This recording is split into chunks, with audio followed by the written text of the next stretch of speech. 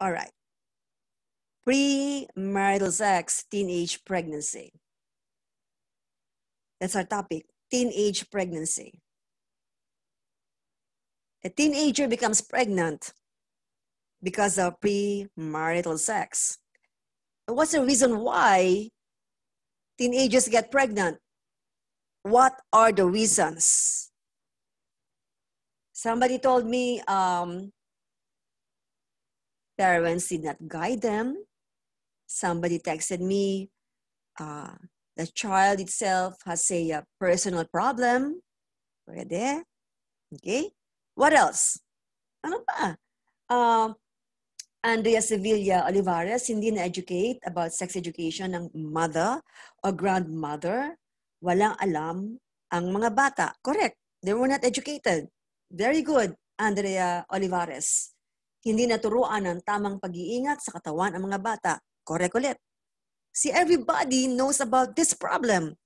So I want to know, okay, you gotta text me kasi lahat po kayo, alam niyo po itong problema na to. Nasabi ko kanina, meron pong dyaryo, September 18, ito po siya, hindi nakikita sa, sa, ito, ito binabasa ko siya. Sige lang. September 18 sa Inquirer, uh, pregnancy among girls below age 15 rising according to the Population Commission. At uh, si Senator Zubiri po, kinatch niya po yung attention na yan na yun pong teenage pregnancy ay hindi, bu- hindi bumababa ang graph. Pataas pa rin ng pataas. It's still rising. Statistics are still rising that teenage pregnancy is going up, up, up, up, up. Hindi lang ngayon, 2020. Even 10 years ago, mataas na po yan. Even 15 years ago, mataas na yan. Even 20 years ago, mataas na po yan eh. And then you tell me, nasa pandemic panic tayo ngayon. Hello? Meron ba ang teenager na napapregnant kayong pandemic panic? Opo. Meron pa rin. At naabuso pa. Yes. Pagsama-sama na natin ang premarital sex, child sexual abuse, can lead to teenage pregnancy.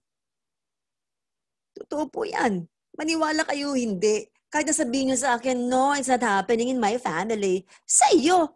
Pero, come, come on. Statistics have shown, eto pa, sa Inquirer nga, sa September 18, according to the Population Commission, pregnancy among girls below 15 are rising according to the Population Commission. Ano yun? Ano yun? My God. Aria Lim, yes, thank you for watching. I'm sure uh, everybody here, parang wala lang, dead ma lang kayo, di ba? Dead ma lang kayo. Ang pakialam ko dyan, Tita Doc, masarap naman ang sex. Huwag kayong ganun. Even though you are not affected, pero hello, sa Pilipinas, mataas po ang statistics ng teenage pregnancy child sexual abuse, mataas. Premarital sex, of course, hindi naman mabubuntis yung batang yan kung walang sex. Hello. No guidance from parents, then what will you do? Kung meron kayong apo, even at the age of 5 or 6 years old, pwede mo educate yan. Not about sexual intercourse. No, no, no, no, no. Hayaan niyo po aayusin ko yung napakaganda kong PowerPoint. Meron pong age bracket ang pagtuturo ng sex education. Even at the age of five, you teach them not of sexual intercourse. Of course not. Ano ka?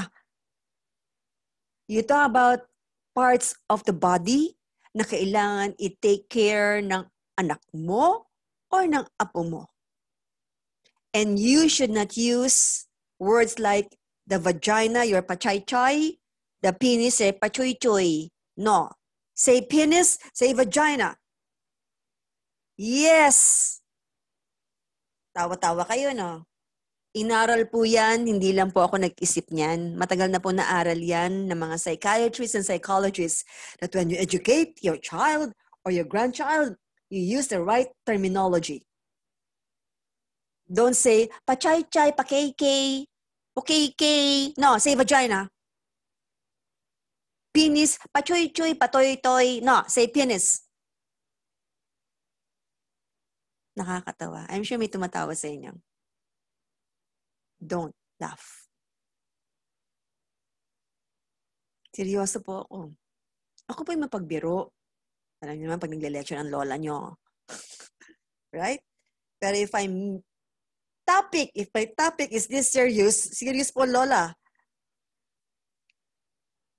Ako, may apo ba ako? Yes.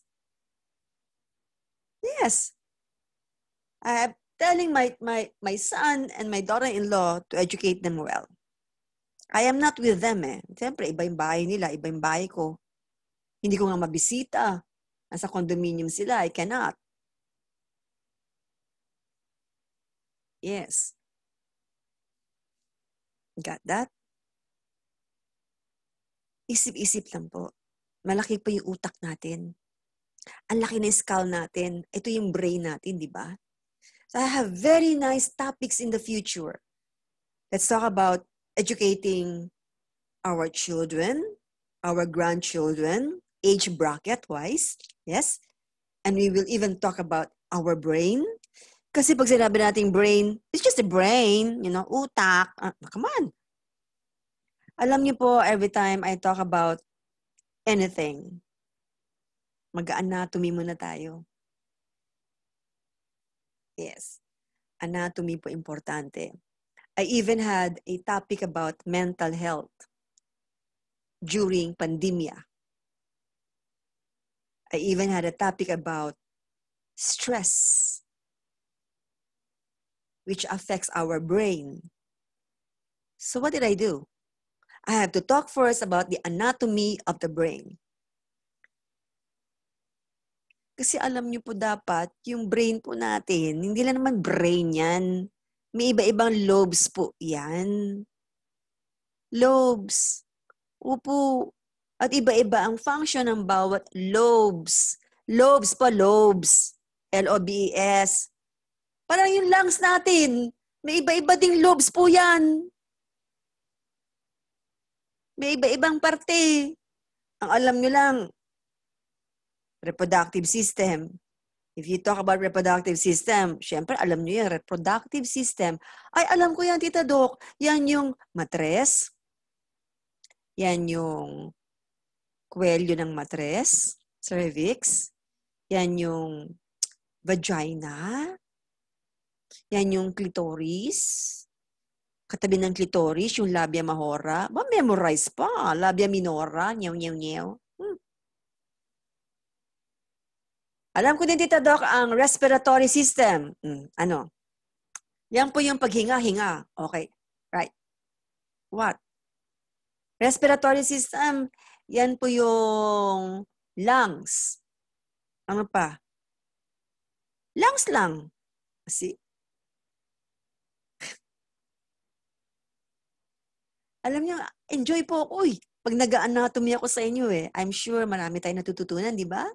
We learn together, right? Yes? So if I talk about the brain, may iba-ibang lobes po yan. Lobes.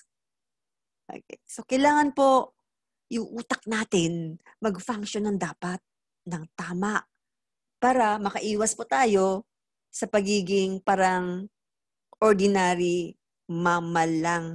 Remember, we are all mammals. Like dogs, mammal din yan. Like cats, they are also mammal. May dede din mga yan, nagpo-produce ng gatas. See? Ang pinagkaiba natin, utak. The brain and the seat of emotion, the core of our brain, meron po importanteng seat of emotion. Pati yung sex na yan. Sex, my God, ang sarap kaya niyan. Hindi ba? Maria Rosario sa Cluti? Sino may sabi hindi masarap ang sex? Sige nga. Dok, hindi masarap yan. Talaga, ha? Pablo Gal Galicia Mendez, Lynn Norris Figueroa. Sino nagsabi hindi masarap ang sex? Ikaw, Lynn? Ikaw nagsabi hindi masarap? Sarap kaya yan. Kaya lang, pag hindi naman nagkamit ng maayos yung utak mo, may pwedeng mangyari hindi maganda. Dahil sex po ay masarap, pero ang sex po ay dangerous, sex is complicated. Bakit dangerous yan, Tita Doc? Ang sarap, charap, chalap, chalap niya ni. Girl! Chalap, chalap yan sex? Eh! Sige! Come on. Masarap talaga. Hindi ba, Chato? Charap-charap yan eh.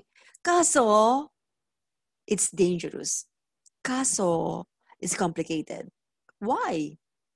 It's dangerous because kung bata ka pa, teenager ka pa, pwede ka magkaroon ng STD, tulo, kuto, kulugo, ano pa? Marami. Babaho ang iyong vagina. Meron kang chlamydia. Maraming reasons yan. Remember, when you just do sex, it's good, but there's a lot of problem. Yung iba nga nakikipag-sex, hindi naman nabuntis, pero sinasabi sa akin, Tito Doc, bumaho ang aking vagina. Ayan. Nakipagtali ka? Opo. Hmm. Napansin niyo yon? Hello? Napansin niyo? Minsan nakikipagtali ka lang, after two days, mabaho po ang iyong vagina. Yes. You know the reason why? Or you don't know? That's my point. That's my point. That's what I'm trying to tell you that this is your anatomy. Ito yung physiology. At meron po nangyayari dyan pag hindi tama ang paggamit. Hello? Got that? So I'm not just here talking about sex. Sex is also dangerous because you might get pregnant or baka makabuntis ka or baka magkaroon ka ng STD. But sex is good. Of course it's good. Kaya lang, hindi mo ginamit yung utak mo. Magkakaproblema ka. Bata ka pa. Hindi ka nag-guide ng magulang mo. Mami, mami, mm, ano anak? Wala akong mens, mama. Dapat may mens na ako. Ngayon date na to. Wala pa man. And you as a mom, what's your reaction? Pwedeng magalit ka. Pwedeng wala ka lang magawa. Right? Hindi ko sinasabing lahat kayo guilty. Sinasabi ko lang, na nangyayari po yan. Hindi po tataas ang statistics kung hindi po nangyayari. And nasa inquirer nga eh. Nasa inquirer, nasa inquirer. Hello, Tita Doc, kailan ba yan? Makaluma na yan, Tita Doc. Hoy! September 18, 2020. Pregnancy among girls below 15 rising according to the Population Commission. Ang tawag mo doon? See? Aida Bernardo, hello. Girly Kim Chu Kim Chu. Oo nga. Benji Lim, hello. Yes. One reason maybe my kumare told me that their mom also got pregnant at an early age too, at 15 years old. See? So, sabi mo, Chato, yung anak nabuntis ng 12 kasi yung nanay nabuntis ng 15. Correct. In other words, yung nanay hindi na-educate yung anak na 12 years old.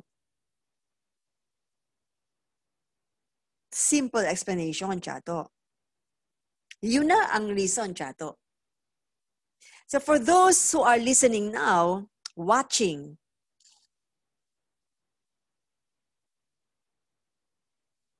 ewan ko, kung ini-educate nyo yung inyong anak o iyong apo, even at an early age. Alam ko inaabangan ninyo yung PowerPoint ko, how to educate iba-ibang bracket. Excited po ako i-explain yan. Did you know that's even the favorite topic of my mom? Alam niyo ba, bagitin ko lang, Chato, bagitin ko lang, itong topic na to, naging topic ko na to ilang beses na eh. Itong teenage pregnancy, premarital sex, madami na to eh. And then my mom, kasi mami ko muna nag-una nagbabasa ng newspaper sa umaga kasi siya yung unang nagigising, right? Gising na yan ng mga 5 o'clock, gising na yan eh. Even 4, gising na yan eh. Tapos dumarating yung newspaper namin ng mga 6 o'clock. So siya una nakakapagbasa ng newspaper. Kasi meron kami subscription na Inquirer. Tapos nung noon time, nung nagising na ako, sabi niya, Lulu, yes ma, maganda ang topic ngayong araw na to. Saan? sa Inquirer. Tapos initcha niya sa akin itong newspaper. Nagulat ako eh. Gusto ko gawing topic mo ulit yan. See, my mommy is even suggesting me ano ang topic ko ngayon. Ayoko na sana kasi ilang beses ko na ito naging topic. Ay nako, gawin mong topic yan. Napakaganda yan. Even my mom, 91 years old, magsasuggest pa ng topic ko. That's my mom. Ah, pati siya, kahit 91 na, hindi pa rin niya maintindihan kung bakit hanggang ngayon, umabit na siya sa 91 years old. Yun pa rin yung problema ng Pilipinas. Yun pa rin. Eh, matagal na pong problema yan eh. 91 na si mami. Ano ba yan? Oh my God. Ka-Yute, hello? Ida Bernard Bernardos. Yeah, okay. Okay. So anyway, I have a PowerPoint I'm going to show you. Short lang naman. And uh, more of pictures. So I'm going to show it to you, ha? Huh? Just a minute. Let's check on our Doc Lulu Talks. Okay, may mga comments. Basahin lang natin yung mga comments sila. Okay. Now, um, John Joven. Uy, hello. John Joven. Hi. September 27, my friend John Joven Uy is a uh, professional entertainer. Magiting ko lang, sandali lang po kasi this is my very napakagandang, uh, uh, napakagwapo na guest ko ngayon. Mm. John Joven Uy is a uh, professional singer. Yes, sa Resorts World po. And remember po sa mga hotel, ay, uh, we cannot go to the hotel and watch uh, singers or band have a drink, eat to be entertained. We don't have that. I can't do that also. Maybe now meron, but I cannot. Senior na po ako. Okay. But ang ginawa nila John Joven, uy, meron silang love project. Love project means they can entertain you via a platform like a Zoom. For example, meron kayong birthday party or whatever, whatever purpose. Kung gusto niyo may mag-entertain, pwede po via Zoom. And John Joven Uy, through his love project, pwede pong gawin yon. How do, how do we go about it? Okay. Sila po ay uh, hindi naman, hindi po libre. Siyempre, entertainer sila, professional pa. So, they are paid every 15 minutes. Kunyari, kunyari ako, meron akong Zoom, tapos meron birthday. And the example na lang yung sister ko, uh, birthday niya sa September 27, together with my brother and my pamangkin. Ang kinuha namin entertainer sa aming Zoom birthday celebration via Zoom ay si John Joven Uy. Yes, so for 30 minutes, siya yung entertainer namin. And we can suggest what we like na music na kakantahin niya. Songs na kakantahin ni John. Yes! Ay nako, grabe po. Kasi minsan pag nag-Zoom celebration tayo, parang wala nang topic, napaka-boring kaya. Happy birthday! Tapos nakanta kayo ng happy birthday to you, happy birthday to you. Tapos wala na. Tapos ang topic nyo, yung namatay si ganon, namatay si ganon. Sus, ginoo. Okay? So don't talk about death. Wala namang bago ngayong pandemya eh. araw-araw naman may namamatay nga eh. Ayoko naman malaman eh. Kasi I'm sure may mga kakilala ko namamatay eh. So, in other words, we have to manage our stress.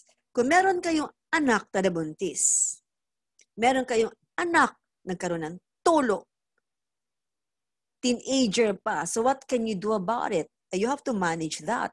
Hindi yan inaaway, hindi pinapagalitan. Okay? Alright? Kung may celebration kayo, like birthday, ayan, tawagan si John Joven Uy. If you want to uh, contact him, uh, bibigay ko po sa inyo yung contact niya, contact number niya. Hindi po ako ang manager ni John Joven Uy. Wala po. Hindi ko po negosyo si John Joven Uy. Baka akala ninyo, manager ka, Tita Doc. No, no, no, no, no. No. We are all independent here. If you have a business, independent business po. Okay? Got that? Thank you, John Joven. Yes. All right. Now, Girly Kim Chu Kim Chu from Cotabato City. Yes, Cotabato City. Mm-mm. Okay. All right. So I'm going to share to you our PowerPoint. All right. Inom muna tayo ng ating tea. Hmm. Lumamig na yung tea ko. Lumamig na. Okay lang. Okay. I'm going to share to you our PowerPoint. Very important. Here it is. Okay, now, ayan po. Ang teenager na lalaki at babae, nasa dilim pa sila at pakis-kiss. Okay, so wala namang problema dyan if they're so sweet. Pero, pag yan po ay uh, may iba nang gagawin, it can actually lead to sex. Pre-marital sex. But is it worth it? Is it really worth it? Alam niyo po, one in three Filipino youth age 15 to 24 engage already in pre-marital sex. Okay? Yes, totoo po yan. Kaya po ang statistics of teenage pregnancy in the Philippines is still going high. All right? It goes high and high and high. Eto ka na, bata. Hindi ba? High school student ka pa lang sa yung mga classmate mo. Masaya sila. Pero ikaw, paano mo pa ipagpapatuloy ang iyong pag-aaral kung ikaw ay buntis na? Ayan ka na. Nalungkot ka na lang. Uwi ka na lang sa probinsya. O kung nasa probinsya ka, mapapatigil ang iyong pag-aaral. Ayan. Nagpa-prenatal check-up ka ang dami mong katabi, mga teenagers din. May kwento ko lang po. Ako po minsan ay uh, niyaya ng isang Rotary group. Okay? At pumunta kami sa Leyte.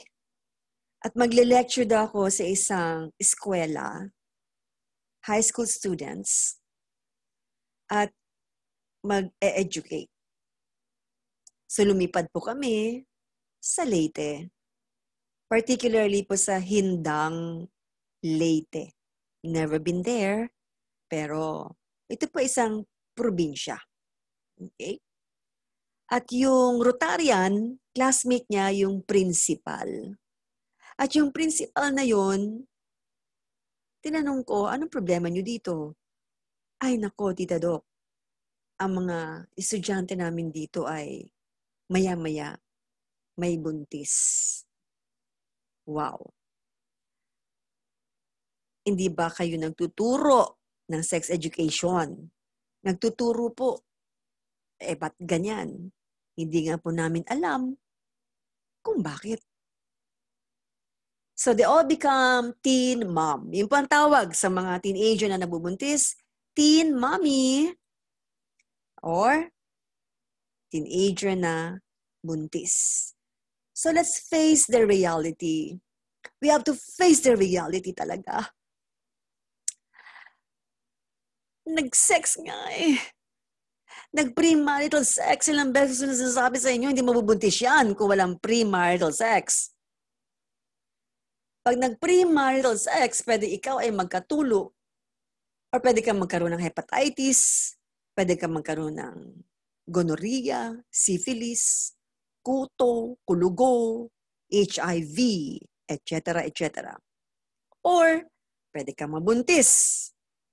Or, pwede kang magkaroon ng unintended kabuntisan pa rin. Or again, magkakaroon ka ng baby kasi nga, ikaw ay nabuntis. Ano ba bang tawag dun? Okay? Or, later on, magkaroon ka ng infertility. The reason why, if you have premarital sex, ang iba po ay nagpapa-abort. Opo, Tita Doc, bawal ang abortion sa Philippines. Bawal talaga. Pero meron pa rin para-paraan ng iba, sila pa rin ay nagpapa-abort. Meron po. Di ba nababasa niyo sa mga news, merong abortionista, right? Yes, yung iba kung ano iniinom, yung iba kung ano nilalagay sa loob ng kanilang vagina, right? At lagi nilang ginagawa yun, nalalaglag, gagawin ulit, paulit-ulit. It can actually lead to infertility. Okay? Pre-marital sex can lead to abductions and rituals. Parang habit na Laging ginagawa yung premarital sex. Wala lang. Nasanay na eh. And if you have premarital sex, you will have effect, it will have an effect on your religious belief and your social status if you do premarital sex. And you will have pre-marital bonding or emotional manipulations. Yan po ang risk of pre-marital sex. Okay, now, eto ka na. Eto na. Picture lang tayo. Picture-picture lang tayo. Ito ay tsura ng isang teenager. May baby siya. Hindi na siya makaaral. Mag-aalaga na lang. Napaka-cute ng baby niya. Siyempre, paliliguan niya yan. She has to attend sa needs ng baby niya. So wala siyang time mag-aral. Kung siya po ay anak mayaman, abay, okay sana. Kasi si Lola, yung mami niya, pwedeng bigyan ng yaya ang kanyang apo. Pero kung ang teenager po ay wala pong kakayanan, nakuha niyo na po, walang kakayanan. Hindi kayang kumuha ng yaya, hindi na rin makaaral, hindi rin maalagaan ng lola. So, ibig sabihin, ikaw mag attend sa iyong anak. Ayan, ang problema, may baby ka na, abay nabuntis ka pa ulit. That's what I mean. Pag nabuntis po ang teenager, dapat po ini-educate pa po yan. Hindi yung Bahala ka na dyan, nabuntis ka naman, di bahala ka na. Mali po. Tinuturuan po dapat yung mga teenager na nabuntis na wag muna ulit mabuntis. Got that? Eh, ano nangyari dito sa teenager na to? Ito yung baby niya. Batang-bata pa. Nabuntis ulit. Hindi na maasikaso ito. Wala, hindi naman niya kayang kumuha ng yaya. Hindi rin kaya alagaan ni Lola, ni Lolo ng mga kapatid, busy rin. Wala kasing kakayanan. Ano na mangyayari? Ano ba? Ayan. Ito po ay uh, isang documentary na ginawa. Ang tawag dito ay Batang Ina. Opo. Ginawa itong docu na to para marami pong matutunan ang mga teenagers. Kaso po, palagay ko wala na rin pong natutunan kasi hanggang ngayon, pataas pa rin ang pataas ang teenage pregnancy. Ayan. Ito yung teenager. Imbis na enjoy alagaan ng kanyang anak, wala lang, nabobore lang siya. Hindi siya masaya. Remember, if you have a child, you should be happy having a child. Right? Hindi yung barungot-ngot ka, naiinis ka, nagkaanak ka, nabubwisit ka. Kasi it was an unintended pregnancy.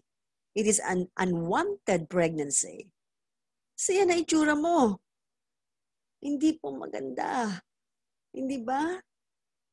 Okay. Tingnan mo to. Chato. Sabi niya, I first got pregnant when I was 13 years old. Yung kinakwento ni Chato dito, meron siyang kilala na 12 years old pa lang, nabuntis na. Eh, panalo yon Ito talo, 13. Yun, 12 years old. Di ba? Ay, nako. Problema po talaga. Now, eto na. So, anong tawag sa mga teenager na nabuntis? Teen moms. Okay. They are increasing and even getting younger. Alright? Now, itong nasa Inquirer na binabasa ko kanina, okay, did you know that even at the age of 10, pwedeng mabuntis? Of course. Pag nagkaroon na ng mens ang teenager at the age of 9, buwan-buwan na yan ay nangingitlog. Pwede mabuntis? Pwede po. Now, eto na, another statistics. Naging teenage mom. Tapos, nabuntis ulit. Second baby. Tingnan mo, ang statistics, marami pa rin sila. Even at the age of 15 hanggang 19, nagka-dalawang baby pa. At nagkaroon pa ng third baby, at nagkaroon pa ng fourth, at nagkaroon pa ng fifth. Oh my God! Bago siya even pumasok ng 20 years old, baka ang dami niya ng baby. Nakakatuwa ba yun? Paano niya maaalagaan yung katakot-takot niyang anak kung hindi man lang siya makatapos ng kanyang pag-aaral? Ano, aasa ka sa magulang mo? Kung mayaman, pwede. Eh kung hindi, paano? Ayan. Ito, ang teenage mom, buntis, ay, ito yung first baby niya. Ito yung first baby. Ito yung second baby. Ayan ang sinasabi ko. So, kung may first baby na ang teenage mom, dapat yan ay na-educate po. Na wag na muna magka-second baby. Alright? Ito siya. Ay, nako. Ilan ang anak niya? One, two, three. Ayun. Baka naman mayaman siya. Ewan ko. Okay? Mayaman siya. Marami. Dapat kung mayaman ka, tigi-tigis ang yaya yan. Hello? Diba? Ito naman si Alfie. Alfie Patton. Tatay na po siya at the age of 13. O, taas ang kilay niyo, no? Dok, bata pa yan, Dok. Hoy, 13 years old na. Itong lalaking ito, even 13, ay tumapak na sa age of puberty. Ibig sabihin, siya ay nagproduce na ng maraming testosterone at sperm cells. Got that? Yes. Ha? Akala ninyo, ha? Akala ninyo, teenager na babae lang ating aatakihin ngayon, ha? Even male teenagers can already produce sperm at nakakabuntis na, of course. Alright? Okay. Sa Pilipinas po ay maraming nabubuntis pa rin. Ayan nga po, kababasa ko lang sa Inquirer. Dated September 18. Okay? Why? Because roughly one in four teenagers get pregnant by the age of 20. Imagine that. Grabe, di ba? Ito na, panalo na tayo. Hindi lang tayo panalo sa COVID-19, kundi panalo rin tayo sa paramihan ng teenage moms. Pangalawa, Indonesia. Pangatlo, Cambodia. Number four, Thailand. Number five, Vietnam. Number six, Brunei. Seven, Myanmar. Eight, Malaysia. Nine, Singapore. Ten, Laos. But number one, mataas na bilang and teenage pregnancy, Philippines. So ano yung basic facts of teenage pregnancy?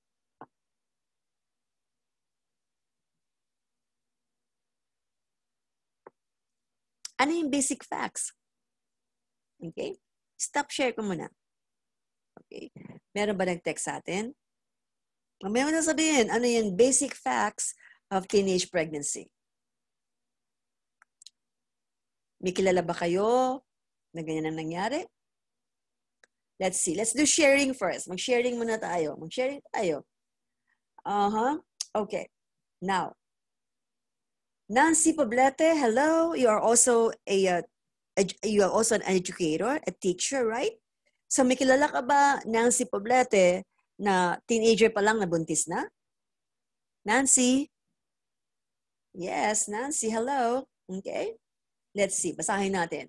Magbasa muna tayo na ang mga textures natin, okay? Now, see, um, okay. Magbabasa po ang lola. Ibo na dar, naganda ng topic. Share ko po, Doc. Sige, share niyo po. No problem. Oo. Okay.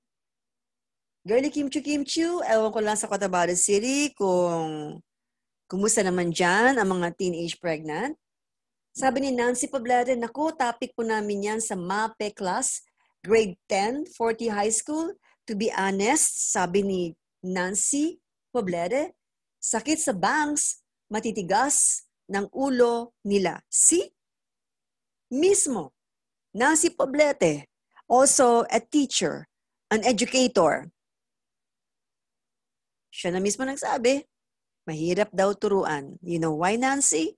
Kasi dapat ang pagturo ng sex education hindi nag-uumpisa sa school. Dapat sa magulang. Right? Di ba, Nancy? Kaya pag pumunta o dumating yan sa eskwela ninyo, sakit talaga sa ulo. Kahit na nag-educate ka, baka nagtatatawa lang. Di ba, Nancy? Right. So, Normita Madukdok, kumusta po? Alright, very good. Now, uh, oh, Jenny, hello, Jenny. Kumusta na mga tinapay mo dyan? Bacon and bake. Sana malapit ka so I can order. Yeah, I like bread. I like bread. Uh-oh.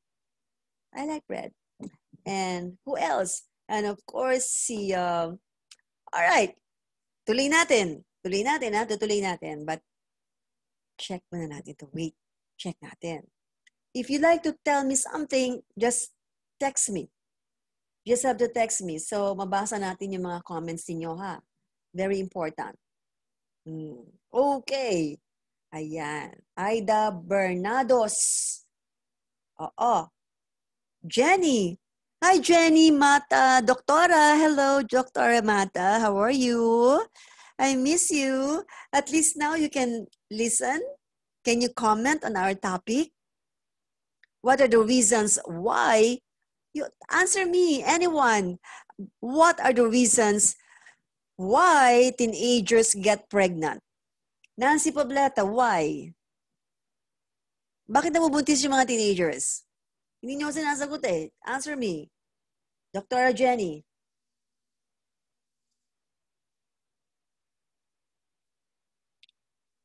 Bakit? Bakit sila nabubuntis? I don't know. Tell me. Aida, bakit sila nabubuntis? Before I tell you the reasons why, share it to me, okay? Very important po.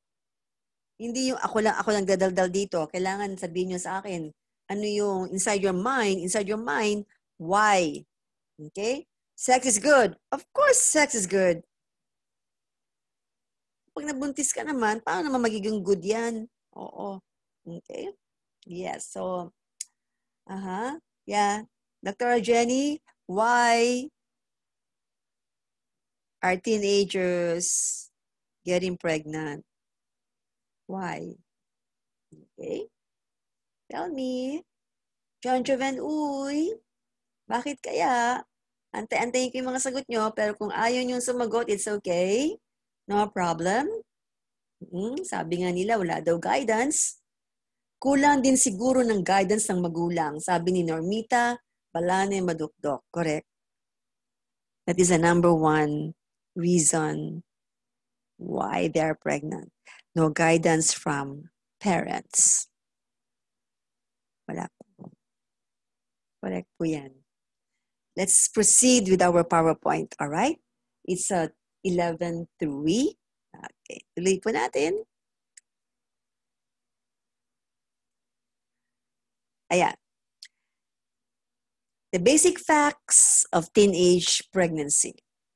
Ano ba talaga yan, teenage pregnancy na yan? Bakit ba talaga nabubuntis? Eh, ang sarap yan. Masarap. Alam nyo, yung, yung sex na yan eh, eh, nakakalimot eh. Pag nakalimot, yun ang problema, hindi ba, Doktora Jenny? Right? Pag nakalimot, tapos uh, nangingitlog, fertile, hit the spot, patay tayong bata dyan, nabuntis. Mama, mama. Mm. Hindi ako nag-mens. Mm. Ayan, buntis. Ayos. Okay? So what are the basic facts of teenage pregnancy? Okay? May mga physical reasons mo na. Ito po yon. At the age of puberty and adolescence, you get pregnant and you do sex. Because at the age of puberty, you, you have lots of hormones, testosterone and estrogen. And if testosterone is high, remember testosterone is the hormone of passion, the hormone of desire. It's the hormone that makes you really hot. Yes. Nakuha na. Okay. Ko age of puberty and early adolescence, you are hot. So may explanation. Ay, may science pala, Tita Doc. Siyempre may science. Okay. But if you will not use your brain, if you will not use your amygdala, your seat of emotion, patay tayo dyan. Bibigay ka ng bibigay. Okay? Nakalimot ka na na ikaw ay tao. Hindi ka aso, hindi ka pusa, hindi ka baboy, hindi ka kabayo. Okay? Tao ka. Kata? So at the age of puberty and adolescence, you have lots of testosterone and estrogen. Testosterone are more sa mga teenagers na lalaki. That's why they have more desire, passion. They're hot, full of lust. Okay? What about mga babaeng teenager, Tita Doc? The same, pero mas iba sa mga teenager na lalaki kasi mas marami silang testosterone. Ang mga babae, mas konti. Pero marami silang estrogen. Pag maraming estrogen, ay naku po, buwan-buwan nangingitlog ang mga babaeng teenager. Pag nangitlog yan at may nakialam sa itlog mo, bata, ay naku po, mabubuntis ka. Alright? Got that? Okay. Now, another physical reason kung bakit nagkakaroon ng pre-marital sex because you date so early. Nagde-date ka. Okay? Early dating can lead to date rape date rape. Okay? Pwede ka nag-date na hindi alam ng magulang mo. Or pwede ka rin nag-date na nagpaalam ka sa magulang mo. Tama? Okay? So once lumabas ka ng bahay ninyo, anything could happen. It could be a date rape. Eh, which means that pwede ikaw ay, ayan, alcohol and drugs. Pwede ikaw ay nalasing or nilasing. Pwede ikaw ay nag-drugs or na-drug. Okay? Now, that's the reason why you make love. That's the reason why you do sex. Okay? Now, sabi ng iba, Dita Doc, oh, Hindi ako mabubuntis. Bakit? Kasi po nagbe-birth control ako, gumagamit po kami ng mga kondom. Ayan. Haka-haka po yan.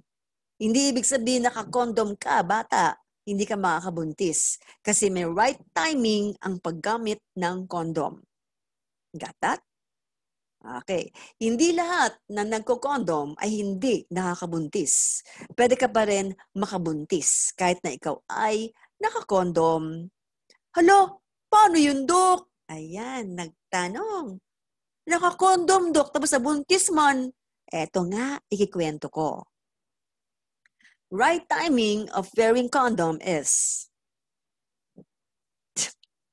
bago ka pa magkaroon ng penetration, dapat mag-condom ka na. Kasi yung pong ari ng lalaki, ha, ay nagkakaroon na ng tinatawag na pre-cum. P-R-E dash C-O-M-E. Parang meron ng lumalabas. Pre-ejaculate po ang tawag doon. Got that? Yung pre-ejaculate or pre-cum ay meron na pong sperm yan. Got? Pag sabi mong pre-ejaculate, meron ng seminal fluid yan. At sa seminal fluid na yan, meron na nagsiswimming-swimming na sperm cells. At pag kayo ay nagtalik, nagkaroon ng penetration, tapos fertile pa si babae, the possibility of getting pregnant ay mataas. Tapos, eh nag-condom naman ako eh, nung talagang ako ay mag-ejaculate na, huling na po. Huli na. Tapos na. Meron nang nauna. Okay? So, yung pong birth control ay isang haka-haka sa safe sex. Got that? Ayan. So, may mga nagtatanong eh, Tito Doc, nag-condom man ako, but tapos sa buntis man. That's the reason why pre-cum or pre-ejaculate. Tapos, fertile pa si babae. Alright? Yes. Now, so may mga cultures motto. Ibig sabihin, sabi, ni, sabi ng iba, Tita Doc, mm, if it feels good, do it. Ay, bahala kayo. Problema nyo yan pag nakabuntis ka or nabuntis ka That's your problem. Dahil ako po ay nag educate dito kung ano yung tamang pwedeng gawin. Huwag mo laging iisipin, if it feels good, do it. Ayan na naman. Dok, kasi masarap man siya, Dok. Oh, bahala kayo. Buhay nyo yan eh. Hindi ko naman yan buhay. Nandito lang po ako para kayo ay i-educate. So, educate your children or educate your grandchildren. Okay?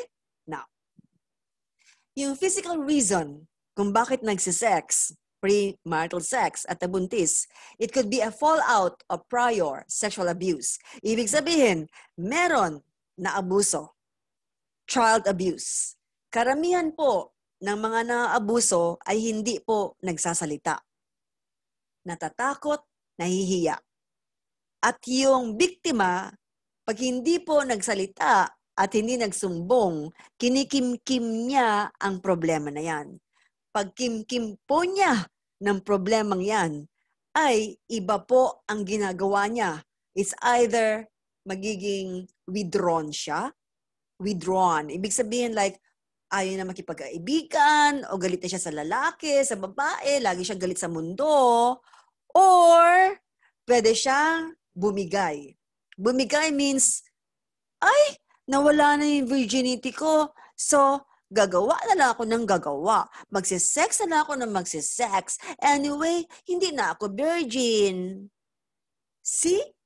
So, iba-iba po ang tinatawag na reason kung bakit nagsisex yung bata. Katat? Kaya nakakatakot. Masarap po yan. Kaya alam po, problema po siya. Now, again, ano yung causes ng teenage pregnancy, Tita Doc?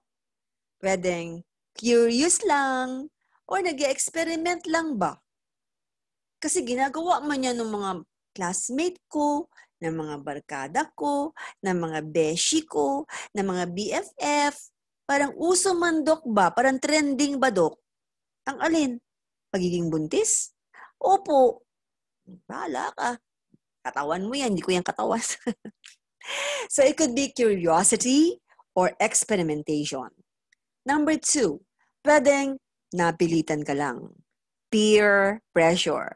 Kasi barkada system. Okay? Or pwedeng pinilit ng boyfriend. Nakuha na. Peer pressure. Next, it could be uh, a family-related problem.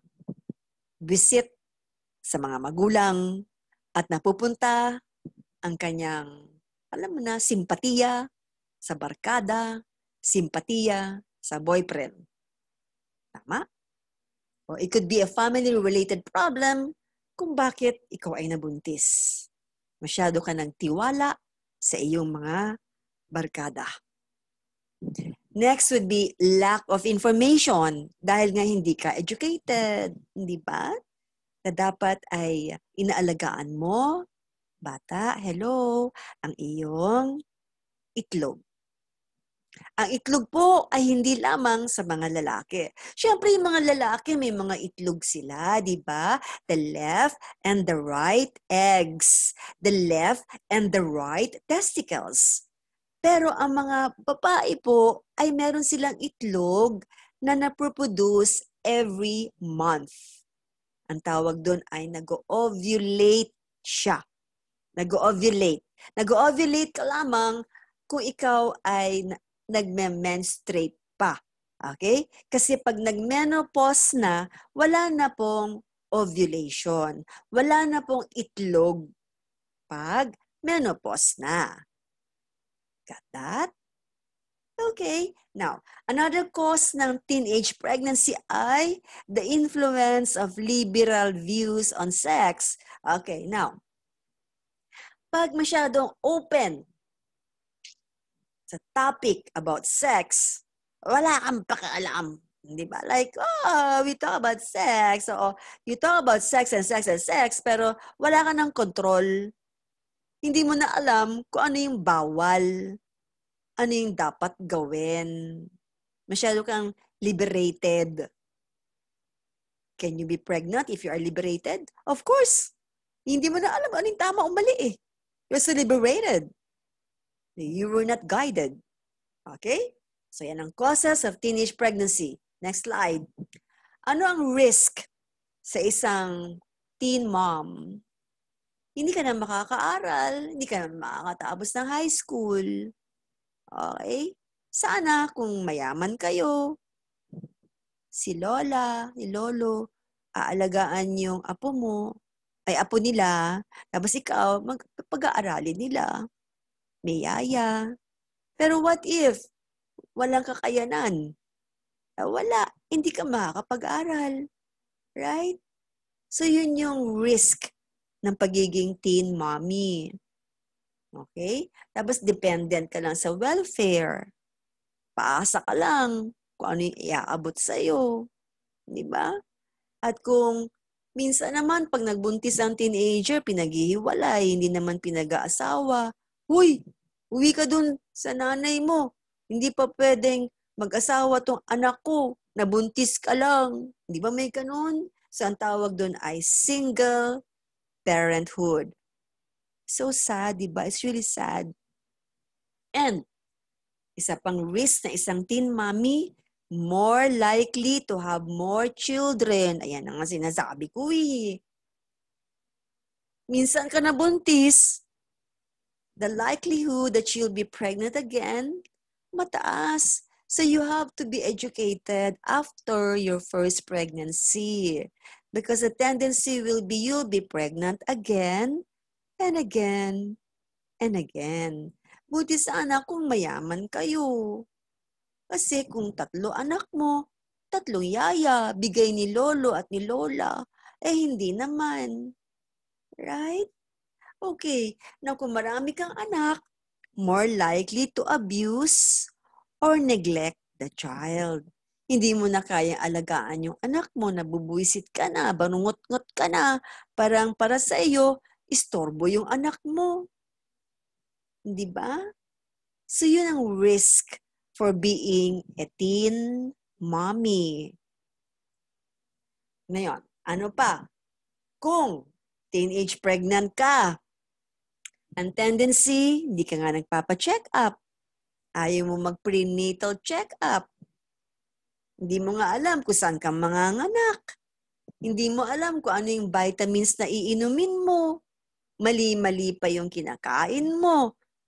Then you can be malnourished. Okay?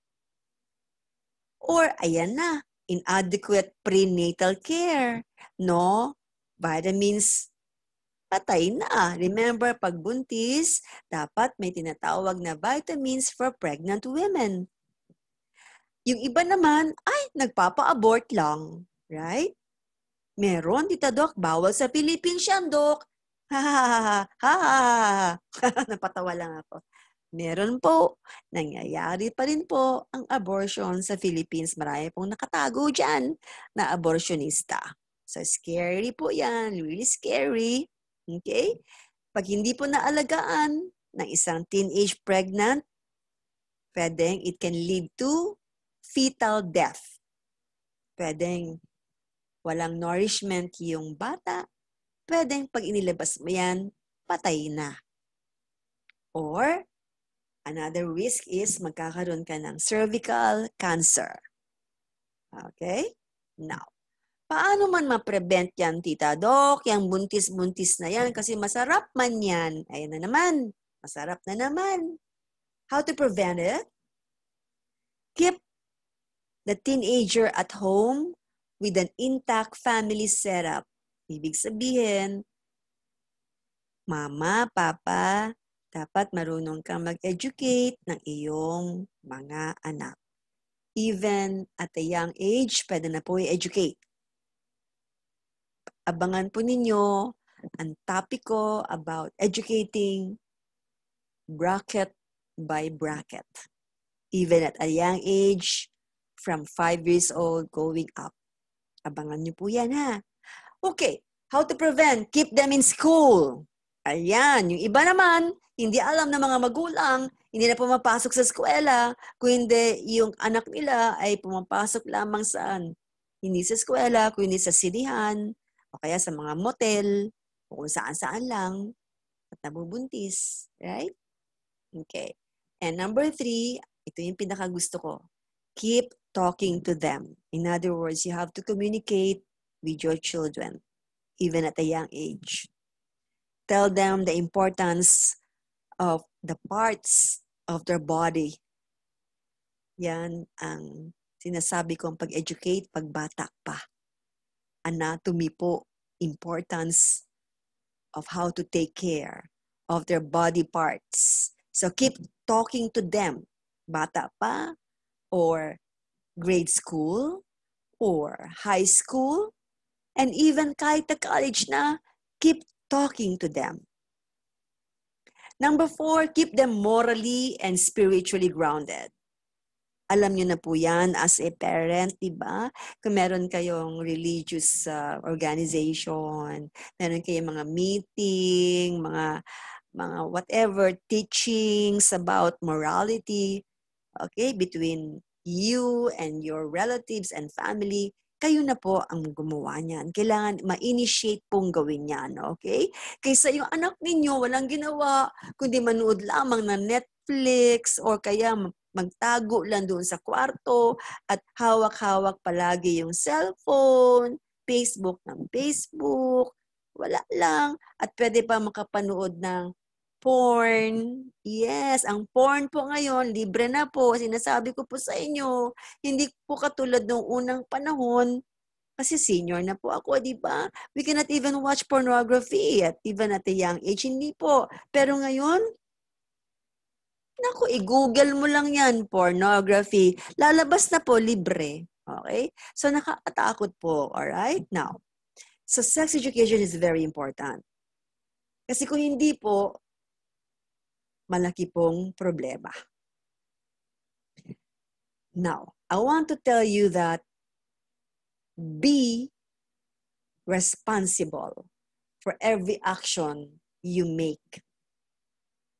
Okay? Ito po ay parang boring pakinggan. Pero makik- makinig po kayo ng mabuti. Please lang po. Importante po to Pandemic panic po ngayon. Meron ba nabubuntis si Tado kahit na pandemic panic? Meron. Meron nga mga buwisit na hahanap sa website yung mga single na mga manyakis na mga lalaki. Magtatit, hahanap yan ng website kung saan makakuha ng girl para machong-chang niya. Come on. Hello. March tayo na quarantine, di ba? April, may nahuli na sa news. Yung isang ina, binenta yung anak at mga pamangkin niya sa isang lalaki para ma para makipag-sex. Paano ko nabuntis yon? Paano na? Paano ko nagkaroon ng tulo? Paano ko na COVID? Eh, Tita Doc, masarap man, Tita Doc. Eh na naman kayo sa sarap-sarap nyo. Masarap talaga yan. Eh, hindi ginagamit yung amygdala nyo, yung pinaka-core of your brain eh. Wala lang eh. Mas lalo na pag, mas lalo na pag nakainom. Pag nakainom na, wala. Chalap-chalap man, Tita Doc. Lashing na ako, Tita Doc. Eh na naman. So be responsible for every action you make. Do not be blind by what you saw. Do not be deaf by what you hear. Do not be fooled by what you want. Do not be dumb by what you feel. You have to think. You have to resist. You have to say no. You have to stand still. Yan po ay message ko sa mga teenagers. Kung wala tayong teenagers na present ngayon, anybody here, kahit na anong edad nyo, 30ish, 40ish, 50ish, senior, yan ang sabihin ninyo sa inyong anak, sa inyong apo. Especially sa mga teenagers. Do not be blind by what you saw. Do not be deaf by what you hear. Do not be fooled by what you want. Do not be dumb by what you feel. You have to think, you have to resist, you have to say no, and you have to stand still. Okay? So again, pre-marital sex can lead to teenage pregnancy. If you can say no, how nice. Okay? Say no to pre-marital sex and you will not be pregnant. Salamat po ha. So again, ang pre-marital sex po can kill you. It only takes once to get pregnant. It only takes once to get a venereal disease. It only takes once to die from AIDS. Although it's good, chalap, chalap, chalap, pero hello, baka ikaw ay mabuntis or makabuntis. Or baka magkaroon ka ng venereal disease like tulo, kuto, kulugo, at kung ano-ano pa ang problema sa iyong ari. You might even have human immunodeficiency virus that can lead to acquired immunodeficiency disease and you can die of that problem. AIDS. Okay? All right, now. Uh, very important. Did you learn a lot? I'm sure. Kahit na sabihin niyo po sa akin na alam na namin yan, Doc, eh. I will not stop talking about it. Kasi yung iba, nakakalimot. Sad, di ba? If you let me read this newspaper, okay? So, yung newspaper po ay um, sa Inquirer, right? So, bubuksan ko siya sa page 4. Basahin natin. Kasi yun yung kanyang mismong uh, headline. Let's go to page 4. Basahin natin na, page 4. Alright. Okay, sabi dito, pregnancy, pregnancy among girls below 15, rising according to the POPCOM. Okay, now, sabi dito. The number, the number of children, the number of children below 15 years old who had gotten pregnant has doubled in 10 years. So since 2010 to 2020, Dumoble pa. SMIU has doubled in 10 years according to the Commission on Population and Development, which is backing a proposed law to raise the age for statutory rape and improvement in sexuality education to curb teenage pregnancies. Imagine. Okay? Ano pa sabi dito? POPCOM Executive Director Juan Antonio Perez III said pregnancies among children aged 10 to 14 years old went up to 2,218, more than double the 1,000 in 2007. Which is grabe. 10 to 14 years old, nabuntis na. 10 to 14. Narinig niyo yun? 10 to 14 years old, nabuntis na. Yung nagtanong niya, ikaw, Tita Doc, kailan ka nag-first baby? 27. ikaw, Chato, kailan ka nanganak? Sige nga, text niyo ako. Sige nga. Kasi dito, sabi dito, 10 to 14 years old, nagkabuntisan na halakoy. Andita Doc, 27. Oh, kayo. Jenny Mata, oo. Sino pa? Ano age kayo na pregnant? Sige nga. Sabi ni Arnel Abarasco, so true, Doc. Yeah, okay. All right, and then sabi pa ni Arnel, withdrawal is okay. No, it's not. Arnel, it's not. It is not. Yes. Kahit sabihin mo, effective sa akin eh. Hmm. Not always. Baka makachempo ka. Nasabi ko na sa'yo. Thank you very much din po, Doc. Okay, that's Ibona Darna. Mm-hmm. Angelica Padilla, love Tita Show. Very good info and entertaining. Hi, Angelica. How are you? Mm-hmm. Eh, anong sabi ni Arnel? Wait lang. Si Arnel, madaming text. Aha, okay. Baka maagang command. Maagang command. Anong maagang command? Kasi naman, Doc, ganyan ang kabataan ngayon. Yun nga ang problema. Okay? Will we just accept that because teenagers are like that now? No, because they were not educated. They were not educated, Arnel. They were not. We cannot just say that, kasi ganit, ganun na talaga ngayon, Doc, nagsisex na lang, Doc. Anong pakialam mo, Doc? Come on. Kaya, nandito ako para magturo. Sinasabi ko na sa see, I go out of my way talking to students. Naging lecturer na po ako sa high school, high school students even there sa Leyte. Lumipad pa kami papuntang Leyte. Oh my God. Alam mo, Arnel, ang naging, naging respond nung students after I talk? Two days I was talking morning, afternoon, morning, afternoon sa high, high, high school lang senior high. Nagulat sila. Ay, ganun pala dapat. Hmm. And uh, after my lecture there, ginawa ng mga teachers, yung leader sa bawat klase nagsalita isa-isa after my lecture. Grabe ang response. Pinipigil ko yung iyak ko eh.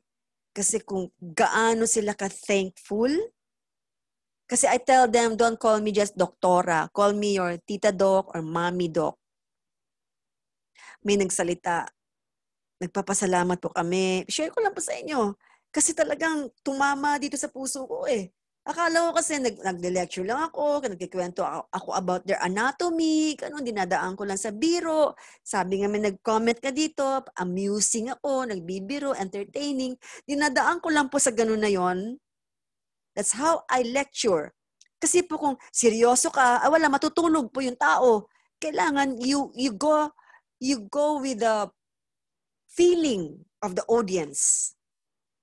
Hindi yung parang teacher ka lang, hindi ka na naintindihan, nag-anatomy ka, boring, nakakaantok. No, I cannot do that. And even talking to senior high, listening to me. So at the first, nagbanding muna kami sa don't call me doktora, call me your tita doc or mommy doc. Gusto nila mommy doc. Kasi daw yung mga mommy nila hindi daw ganun magsalita. So nag, nagbigay sila ng ng uh, comment after I talk. I listened. Kwento ko lang. Gulat ko talaga. I was controlling my tears eh. Sabi, ang dami doon nila natutunan.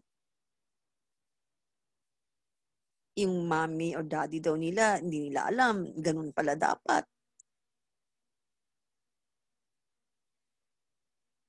And uh, kilala nila yung mga classmate nila na nabuntis. And sana daw bumalik ako dun para maturuan ulit sila.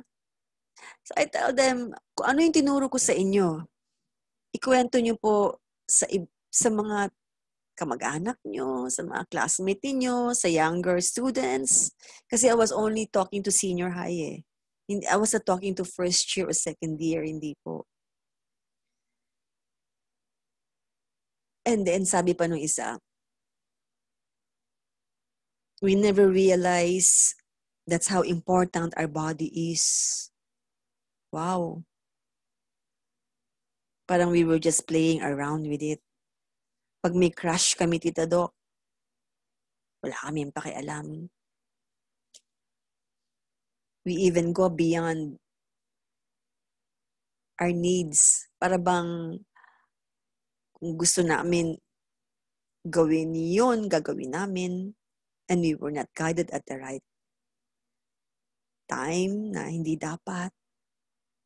Grabe. Grabe yung ano nila, yung yung mga reactions sila after I talk. I never realized na ganun yung effect.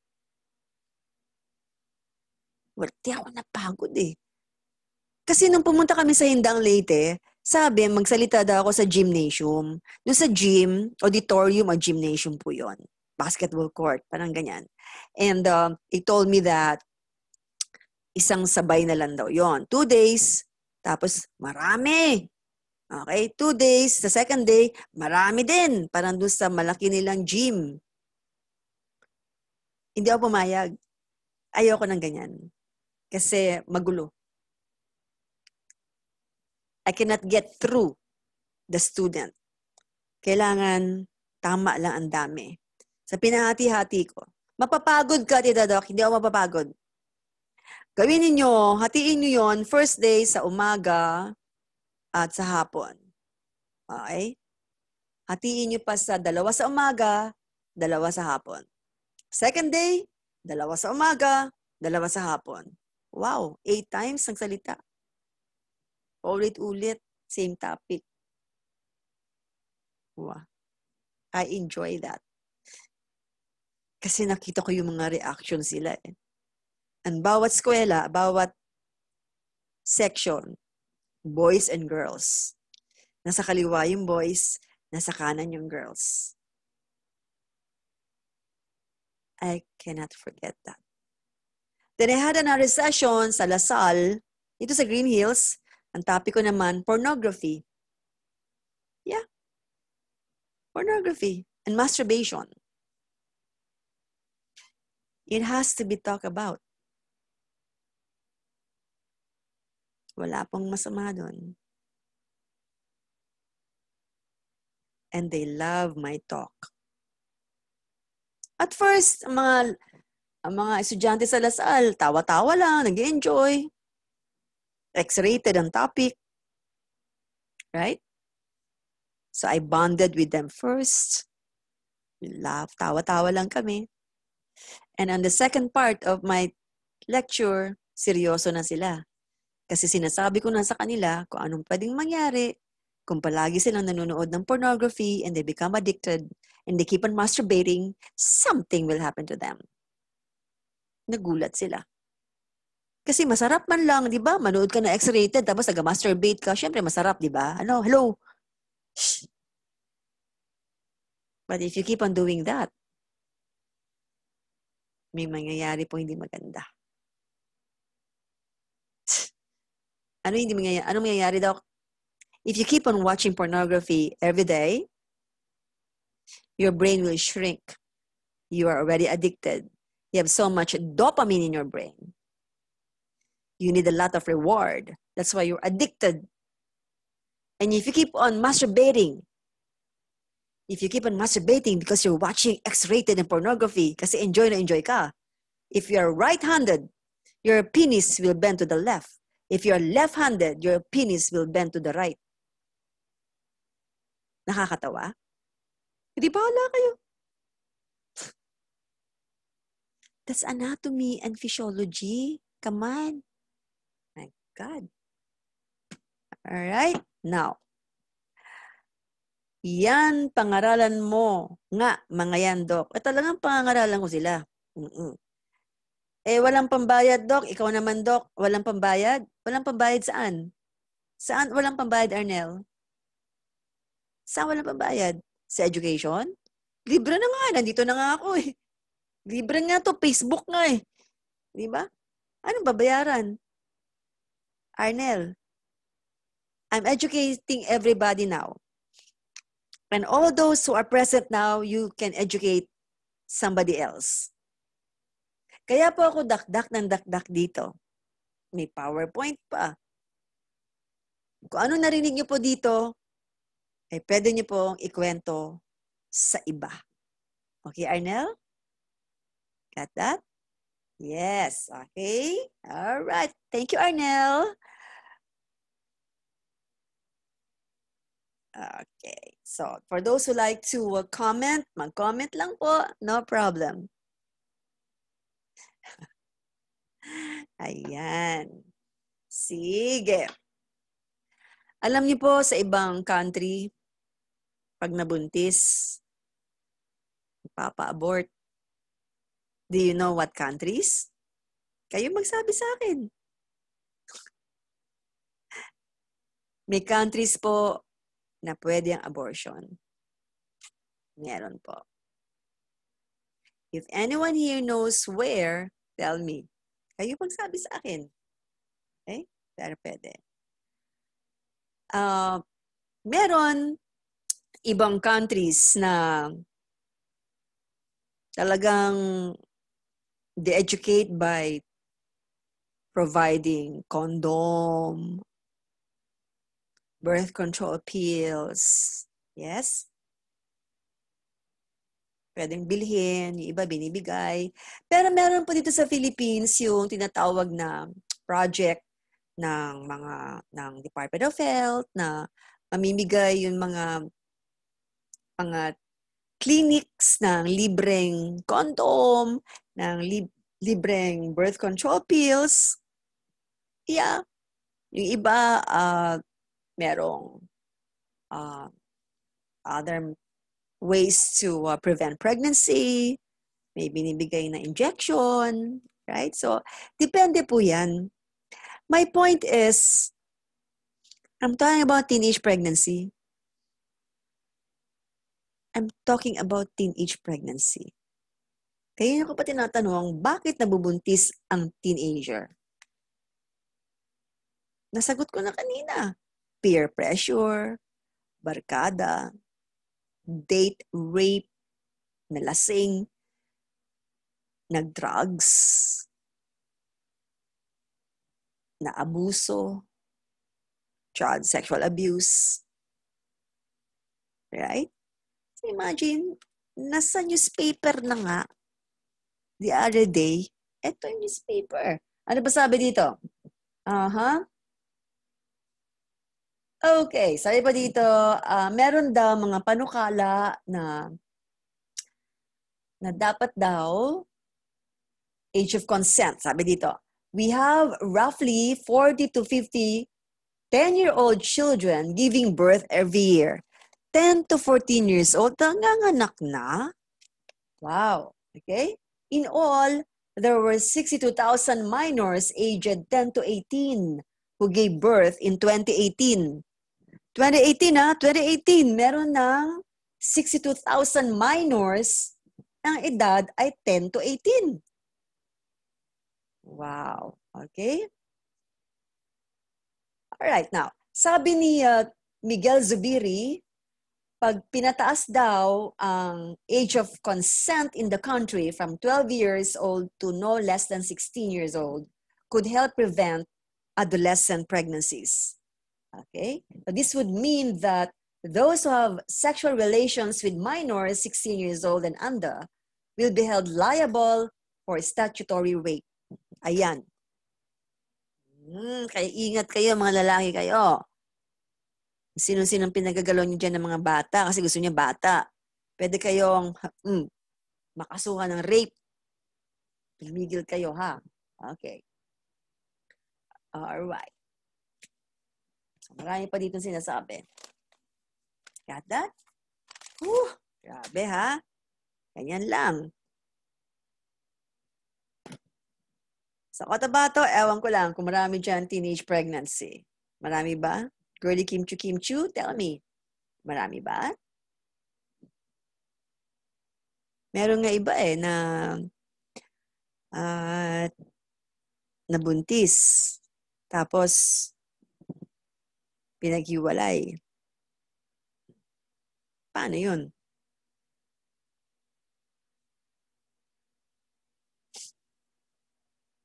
Hindi pwedeng pagsama do kasi pareho pang high school student. Pwede. Yung iba naman, pinagsasama. Pag pinagsama naman, dapat hindi mo na mabuntis ulit. Kasi pareho pa nag-aaral. Pag pinaghiwalay, you know, mental health problem. Right? It is a problem. It's very important that uh, they have to be educated. Okay? Sabi ni Arnel again, US is legal abortion, but I think no more. Okay. Angelica Padilla, abortion is legal, okay? But not all states. Yes, correct, Angelica. Yes. And um, thank you, Ida Bernardos and Nilda. Nilda Sumabat, hello, how are you, Nilda? I miss you. Mm-mm. Bernadette Castillo, USA, legal abortion. Yeah, Amsterdam, legal abortion sa Amsterdam. Okay. So actually, Normita, marami pang ibang lugar na legal po ang abortion. Hindi lang Amsterdam. You can actually Google that. You Google it now. Malalaman po ninyo kung ano yung mga countries na pwede abortion. But not in the Philippines. Alright? Hindi po dito. Alrighty. Aha. Okay, so sino pa ang magko-comment? Sino pa magko-comment? I'm going to read it habang may time pa tayo. And before I go, let's see. Oo, let's see. Mm-hmm. Yes. Do you have any suggestion kung anong gusto niyong topic? Alam mo, maganda talaga yung topic about uh, sex education, eh, yung bracket, age per bracket, kung how young dapat ma-educate ang bata Nagawan ko na magandang PowerPoint yon. Kasi ayoko yung basta dala ng daldal eh. Kailangan meron kang visual aid. Right? Yes. Okay, so anyway, uh, share ko lang po sa inyo that uh, Tita Doc, okay na tayo ha? Okay. Share ko lang sa inyo na meron tayong pwedeng gawin. Okay? To be a good educator like me, like anyone here, like si Bernadette or si Arnel, or Angelica. Okay? Yes. Sabi ni Angelica Padilla, you make it not boring, tita. This is important because info sticks better when entertained. Okay, this is why lots of people listen to you and follow you. If only we can squeeze this discussion or talks, okay?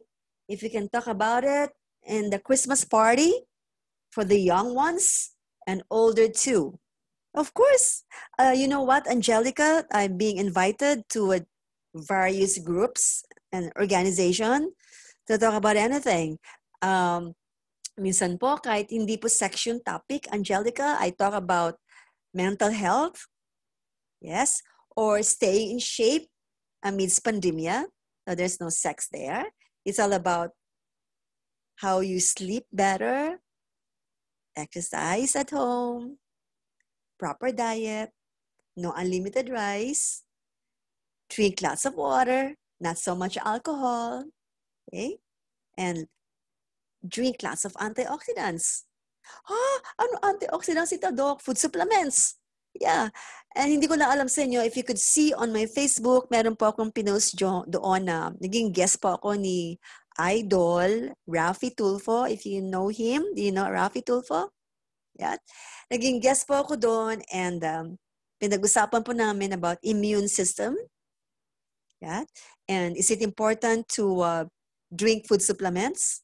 Kasi meron po ini-endorse si Idol Rafi Tulfo, yung pong vitamin C and zinc. So I talk about vitamin C and zinc. Then he even asked me about what's the difference between vitamin C and sodium ascorbate, Angelica. So I explained. I'm sure lahat kayo nanonood dito drinking vitamin C. Do you? Come on, drink vitamin C. It's good. Yeah, it protects your cellular membrane. It does. Cellular membrane. Ano yun, Tita Doc? Mahilig po talaga ako mag-science eh. Okay, di ba ang, ang cell natin merong bilog siya. It's a cell. Tapos may talukap. May talukap. Membrane, may membrane po yung cells natin. Okay? Yung vitamin C, when you drink that, it becomes a guard. Guardia po. Security guard po ng outer cellular membrane. That's a vitamin C. Tapos sinanong ni, ni Sir Ralphie Tulfo kung what's the difference between vitamin C and uh, sodium ascorbate or calcium ascorbate. Kinuwento ko sa kanya. Yung vitamin C is a natural vitamin C present sa mga prutas tulad ng mansanas, pineapple, orange, peras, at kung ano-ano pa. Pero po yung pag sinabi mong ascorbate, that's a mineral salt of vitamin C. Mineral salt means sodium ascorbate or calcium ascorbate. Hindi ba ang sodium tsaka calcium mineral yun? Tama. So it's what you call now the alkaline form of vitamin C sodium ascorbate or calcium ascorbate. So is it better to drink that or yung vitamin C lang? It's much better to drink yung mineral ascorbates, yung alkaline vitamin C, non-acidic vitamin C. Why, Tita Doc? Why? Kasi nga, pandemic panic ngayon. We are too acidic. Mahilig ka pa kumain ng mga acidic foods. Mahilig ka pa sa prito. Mahilig ka pa sa pagkain na may preservative. Processed food, delata, unlimited rice, donut, cake, ice cream, hot dog, tocino, bacon. Those are acidic foods. Anything fried are acidic foods. Mahilig ka pa sa acidic drinks. Yeah? soft drinks are acidic drinks.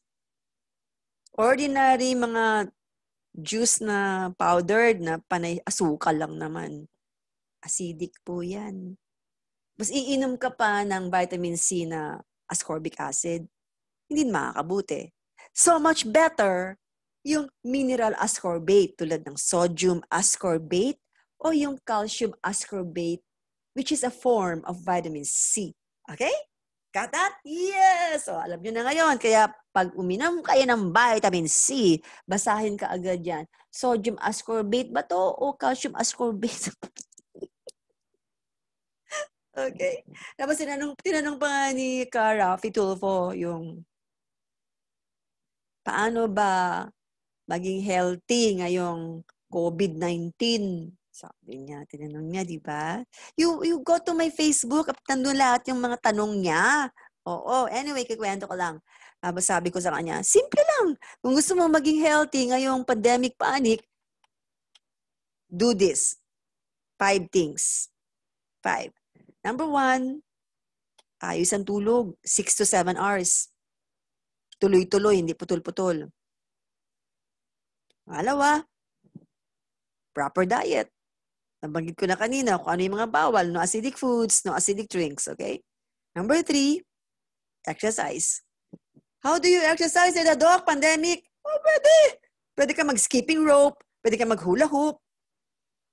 Hula, hula, hula hoop. Di ba? Okay? Tapos kumuha ka ng tali, mag-skipping rope, skipping rope, skipping rope, skipping. Ano ba? Payabang yun naman, gym-gym ka dyan. May pambayad ka, mahal kaya yung gym. Kung mayaman ka, go. Eh kung wala kang pera, hindi ka na makalabas eh. So, sleep 6 to 7 hours. Continue. Number two, sabi ko sa kanya, proper diet. No acidic foods, no acidic drinks. Number three, exercise even though you're at home. Okay? Number four, drink lots of water. You can drink alak, pero wag sobra, moderate lang. You can drink one bottle of beer, regular bottle every day, dark beer, okay drink one or two glasses of red wine, maliit lang, okay din po. But too much, if it's too much of drinking, masama. Got that? Now. And number five, food supplementation. Vitamin C, if you like. Paborito daw niya yun eh. With zinc, very good. What is zinc? Alam niyo ba yung zinc sa nakukuha sa pagkain? Alam niyo po? Sa talaba hipon, crabs, at kung saan-saan pa. Sa karne rin may zinc. Pero, sino sa inyo ang kumakain ng talaba araw-araw? Sino ang kumakain sa inyo ng alimango everyday? Hipon everyday? Mayaman? Kung mayaman ka, ah, ah, hello, Nakakasawa naman yung araw-araw kakain ka ng talaba dahil sa zinc. So you can get that, at least 10 milligrams of zinc every day. Ah, immune system is good. Walang sipon. Remember, pag bumagsak po immune system ng tao, sipon ka agad. Yan ang unang sign that you have immune system na weak. Sinisipon ka. Pangalawa, lalamunan, Makati, Makati, Makati, Makati. Hmm. Mamaya may ubo ka na. Pagrabe ng pagrabe. Hala ka, baka COVID na yan.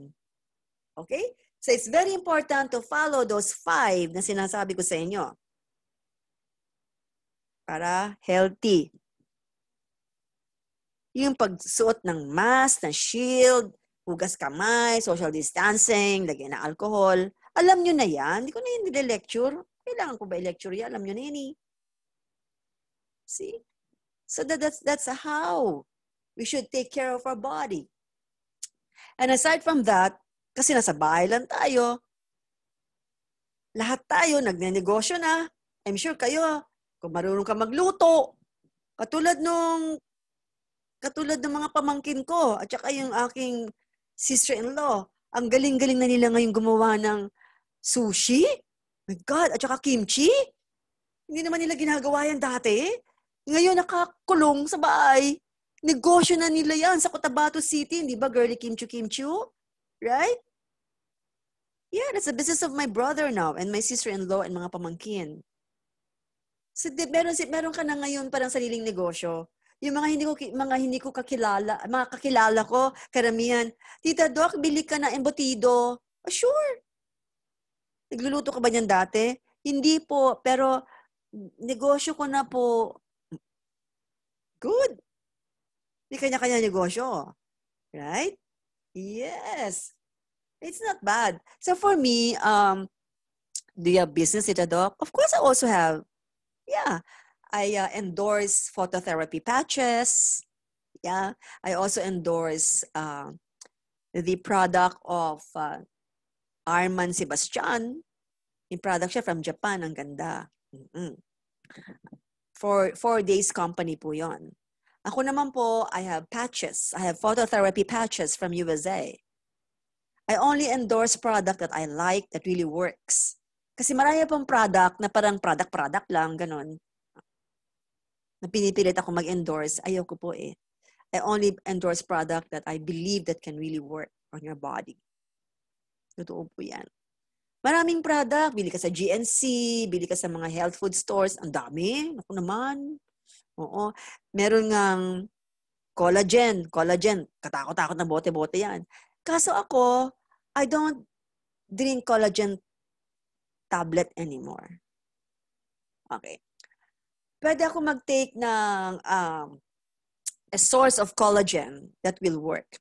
Like for example, yung ini-endorse ni Arman Sebastiano, four days, I like that. Pero it's a uh, natural juice from Japan. Yes. Mas okay. anyway, kikwento ko lang. And another one is yung patches po, wala siyang drugs, walang chemicals, no stimulants, but it can produce my own collagen. Opo. And even my own stem cells. Stem cells po. Meron po stem cells na iniinom. Pero for me, I like the patch that can actually activate my own stem cells. May ganon, Tita Doc. Meron. I'm going to make a, lecture about that via Zoom, but I need students with me. For those who like to be uh, interested with this phototherapy patches, mas gusto ko kung nag-Zoom tayo eh. Okay? And Fatma Aligora, hello! Oh, Fatma Aligora is uh, with a company that endorses um, sildenafil. What is sildenafil? Yan po yung pampa-erect po ng penis Okay? It's a sildenafil that actually can help men with erectile dysfunction.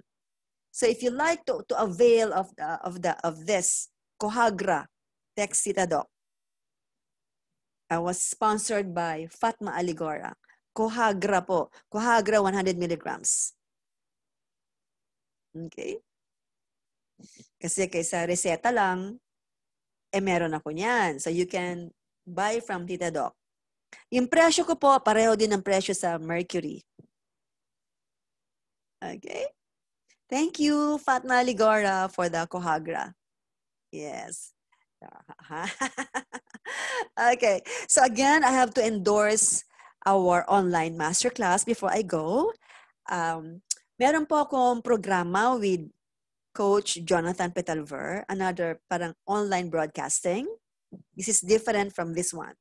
Di ba Sabado ngayon? Doc Lulu Talks. Monday, Tuesday, Saturday.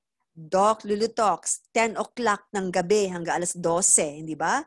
Pero pagdating po ng Thursday, starting October 1, okay, hindi ngayon Thursday coming ha, sa, sa, sa October po, sa October, uh, Thursday po ako, kung October 1, mag-start ulit si Coach Jonathan sa kanyang online broadcasting called Champ Yun Ka.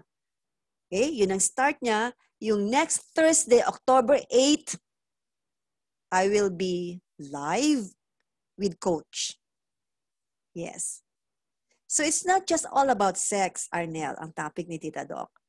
I talk about anything when it comes to overall wellness. Okay? yung iba kasi nasanay eh. Nasanay kay Tita Doc, sex, sex, sex. Pwede naman po. Pero mas maganda po, let's talk about anything. Anything po.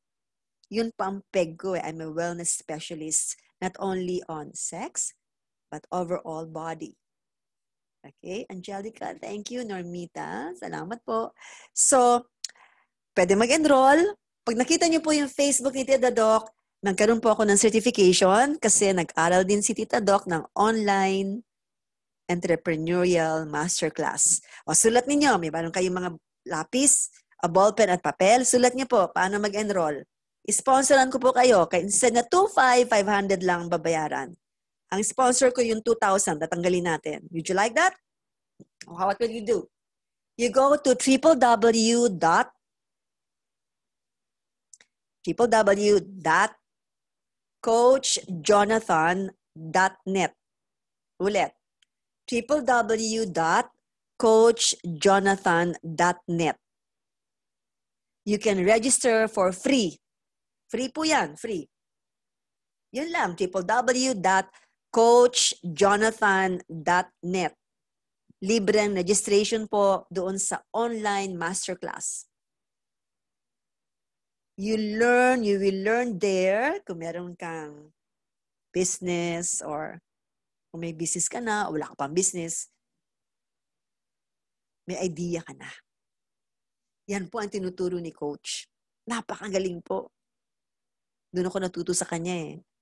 Yung mga entre- entrepreneurial dyan, di ba? Ay, gusto ko mag-business. Eh, marunong ka ba mag-business? suntok sa online online lang tita doc o ganyan or online lang ba it's not that way come on it's not easy it's not easy to have a business okay dapat alam mo kung ano yung brand mo dapat mo na una ituturo ni coach maniniwala mo na sa inyo yung tao kahit nakaibigan mo tapos nag-live ka may product ka tapos parang, oh, hindi naman totoo yan eh. Oh, wala na. Kasi hindi naniniwala sa'yo. So, ituturo niya yung value mo na ng sarili mo. You have to brand yourself first. Okay? At kung may product ka na, pwedeng maniwala na sa'yo. Tapos ituturo niya pa sa'yo yung sales. Can you sell it? Online? 100% you can sell? Talaga? Hmm. Tapos ituturo din niya sa'yo kung bumili nga at kung bibili ulit. May loyalty ba yung bumili sa'yo? Ang dami niya ituturo. Ang galing. Alam niyo po ako, gusto ko lagi natututo eh. Mas lalo na sa mga business-business na yan. Oh, bakit kailangan mo matuto mag-business it? Oh, why not? Yeah, I can I can teach you already now. Right? Hindi about sex. Like, we can talk about business. Yes! Opo! Yan natutunan ko kay coach two years ago. Two years ago pa, Natutunan ko na po yan kay Coach Jonathan Petalver. Ano yung website? Before you go, Tita Doc, ano yung website? Yung libre mo na, yung libre. www.coachjonathan.net Yes. Okay, libre mo na yan. Muna, tapos Doc, may bayad yung susunod. Naman. Okay? Pandagdag ng course. At may certification na. May certification, may certificate Yes! May exam? Meron. Oh. hindi ka mahihirapan, hindi ka kailangan mag-antay ng classmate. Kasi sabi nila, pag nag-enroll ako, Tita Doc, yung mga classmate ko, a-attend ba? No need! You can actually start your course kahit na 2 o'clock in the morning. Oo. Nandun na si coach. Nasa video course na. Gising. Nagle-lecture na. Bawat module na matapos mo, ala ka, may exam. may exam. Yes. Ay, naku, tuwan-tuwa ako eh. Nung nag-exam na ako, like, ako, multiple choice. multiple choice. Ayoko na multiple choice. Mm, pero, napasa ko naman. So, if you see my Facebook, I took one course about um, master classes, online master classes, yung basic. Tapos, uh, nung napasa ko yon Uh, I only paid uh, 499. Dapat for 2,499 eh. And naabutan ko yung promo nung una. Kasi the other month pa ako nag-enroll and naabutan ko. Siyempre, kuripot din ang tita doc nyo. 499. Nung napasa ko yon, lumabas ulit. Would you like to enroll again? Oh, okay. Pwede ulit. 499 din ulit. See? Yes! Dapat 2.5 yun eh. Parang 500 lang binayan ng tita doc nyo. Mm, galing. Yung susunod na course ko na napasa ko na, I already had examination. Uh, yung entrepreneurial management, napasa ko na rin. Mm, galing. That's why I'm sharing to you. Okay, so may nagtanong, may nagtanong din na how do you enroll kung 499 na? Okay. You can enroll kasi una free. Free yung www.coachjonathan.net. Libre yon. Okay? Papas papatikimin lang kayo. And then what if you want yung may certification? Pwede. Na 499 lang? Pwede. Paano? Ganito. www.coachjonathan.net tapos slash. May slash. Shh. Idagdag. Entrep Masterclass. Entrep Masterclass. So, bubukas yung website. Pagbukas ng website, hihingin din yung pangalan, email address, okay? Tapos sa bandang huli, hihingin yung affiliate code. Affiliate code, importante yon para 499 lang ay babayad nyo. So ano yung affiliate code? 1004. Got that? Pag walang affiliate code, Hala, mahal siya. 2,499. Pero pag pinasok mo yung 1004, it means I sponsored you. Tinanggal ko yung 2,000. 499 lang. Ibabayad nyo kay coach. Got that? So, pag hindi naintindihan, just look at my Facebook. It's all there. Okay? So yan ang pagtuturo natin sa tinatawag na online masterclasses. So you've got to learn to earn from home if you have business. Maganda po. Kasi mga tao ngayon, business ng business kung ano-ano lang, di ba? Mm-mm. Okay? Alright, so thank you so much everybody. Mariel Gatbagan, how are you? I love your dancing, your TikTok, TikTok, TikTok, si Mariel. I love it. Okay? Mm-mm. And uh, si Romney Natividad Barreto, and Alicia Ongchanco de la Paz. Kumusta naman? Sabi ni Angelica Padilla, vitamin C, everyday po, frontliner here, much needed in these times. Correct. Vitamin C, take it every day. Mm-hmm. Okay. So thank you so much. Ah. Mm-hmm. Okay. So, magbababay na ba ako? Parang ayaw kayo iwanan. Uwi na tayo. Nako, past 12 o'clock na pala. Okay, so it's already Sunday, and I'm sure you we had so much fun. I, I had so much fun here. Sinisilip ko lang yung Doc Lulu Talks eh. Baka may humabol. Habol, habol, habol. Yung mga topic, topic. I don't believe in COVID-19. Oh, okay. Arnell said, I don't believe in COVID-19. This is a lie because they want to control the whole world to become the new world. The pandemic, it came from the electromagnetic field. Remember, Doc, in 1918, they got flu when they launched the first internet and they launched 5G. Yes, I also believe on the ill effects of electromagnetic radiation. I also believe in that, Arnel. Yeah, so meron din akong panglaban sa electromagnetic radiation. If you can see here, I have the Uy, ano yan? this is my energy glass. It reflects back electromagnetic radiation. It's my alpha spin. Opo. Dalawa yan. Nasa tabi na aking cellphone. Ito po siya. Ito po yung isa. Earrings. Earrings. Hindi po. Alpha spin po yan. This is from Germany. Arnell. Yeah. Okay. It fights off the electromagnetic radiation of my laptop, of my cell phone. One, I have another cell phone here. Ito pa. Plus, ano pa electromagnetic radiation ko, Arnel? The Wi-Fi. Yes. So I'm swimming over electromagnetic radiation is everywhere from my laptop my cell phone, through my light. I have a light here in front of me, and I have a strong Wi-Fi. So I need panglaban ng electromagnetic radiation. I have my alpha spin here. Yes. Marami po akong alpha spin. I can actually uh, protect myself from electromagnetic radiation by having four of this, four of that, nakapalibot po sa akin, square. And I'll be protected parang sa pyramid po. Nako, baka hindi kayo maniwala. Bahala kayo. so, I protect myself. Yes. Totoo yan, Arnel. Okay. All right. So, again, uh-huh. So, vitamin C is very important. Okay, so I gotta go. Okay, so Tita Doc muna ay uh, magpapa mag-aaral. I'm going to eat my second meal. Yes, and um, you watch out if I'm going to have my Zoom, my private Zoom about phototherapy patches. Abangan po niyo yun join me. Okay, it's very important for you to learn about the phototherapy patches. Alrighty? Okay, gotta go. And uh, maraming salamat po sa lahat na nag-attend. Kung hindi ko po kayo nabate, ayaan nyo, babasahin ko po ngayon kung sino yung mga nag-attend.